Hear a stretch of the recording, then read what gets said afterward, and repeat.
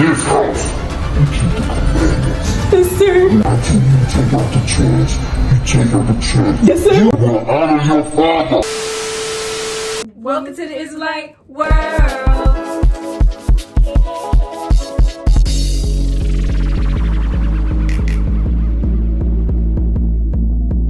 Hello guys, we're back with another video. And today's video is going to be about Honoring your father and mother.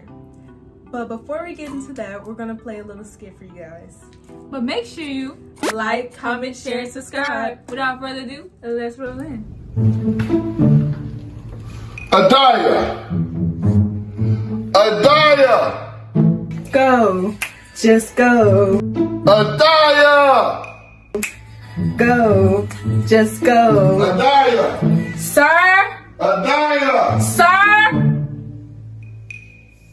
He always calling me and asking me to do something. I'm so sick of this.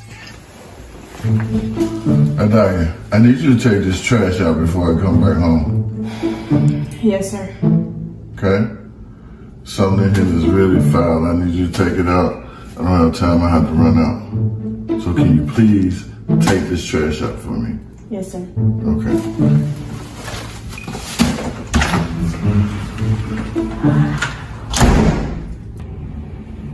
Am not finna take out the trash. I am finna be on TikTok. And this dude is fat. Oh my god.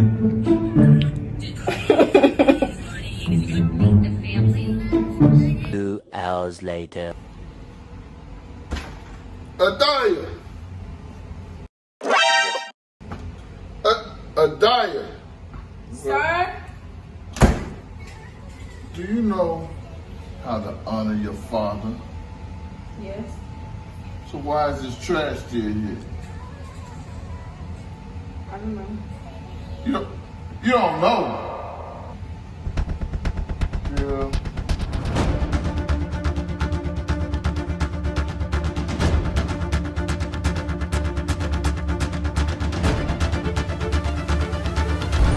In this house, you keep the commandments.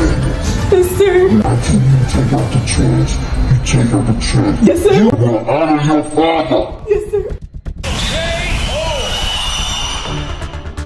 What you saw in that clip was not acceptable. Not at all.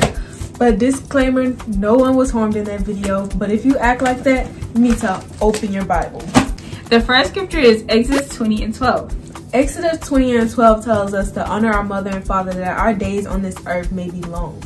So we must honor our parents if we want life, basically. Also, in Exodus 20 and 12 is the commandments, guys. What does Christ say about the commandments? Let's get that scripture. The next scripture we're going to go over is John 14 and 15. This is what Christ said. Christ said, If you love me, keep my commandments. And you know what one of the commandments is? Honor your father and mother. The next scripture, you're going to need your Apocrypha. So go ahead and pull it out. So the next scripture is Ecclesiasticus, also known as Sirach 3 and 3. Sirach 3 and 3 tells us to honor our father, and that makes atonement for our sins. So, have you ever sinned or transgressed the law? Yes. And by honoring your father, that makes atonement for your sins. So, you're going to want to do that. Also, if you read down to verse 7 and 8, it says, The fear of the Lord will honor his father. So, if you really fear the Lord, you will honor your father. And also, verse 8, it says, Honor thy father and mother both in word and deed. So, not only do you honor them in your speech, but also in your work. Whatever you do, you must honor your father and mother.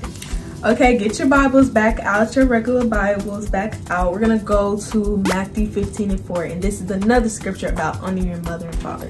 Matthew 15 and 4 tells us, He said God commanded us to honor our father and mother, not to curse them. And if you don't honor them, the result is death. Next scripture is Ephesians 6 and 2. Ephesians 6 and 2 tell us to honor our mother and father. And that's the first commandment with promise. And what is that promise? Life. That things may go well with you, as it says in verse 3. So we must honor our mother and father. This is very important, and the Most High stresses this all throughout the Bible that we, no matter how old we get, we must honor our parents. Right. And by honoring your father and mother, your life prolongeth, y'all. But if you don't, your life shortens. Death. We don't want that. We want to live. So honor your parents.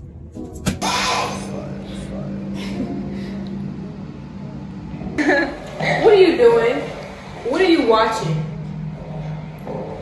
Mom, I'm watching Cory Kenshin. Everybody watching Cory Kenshin. I don't want you watching any more Cory Kenshin, but I want you to watch more classes because that's going to feature school. And I want this whole entire kitchen clean, starting first with this dining room table. It's disgusting. It needs to be clean. Do it now.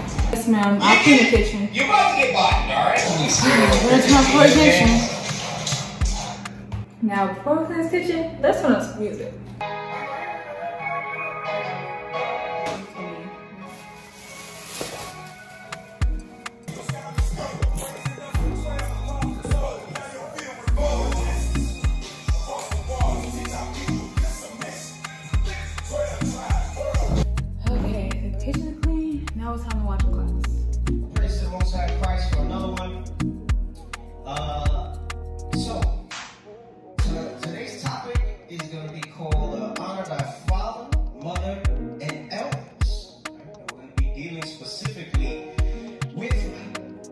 blessing, blessing.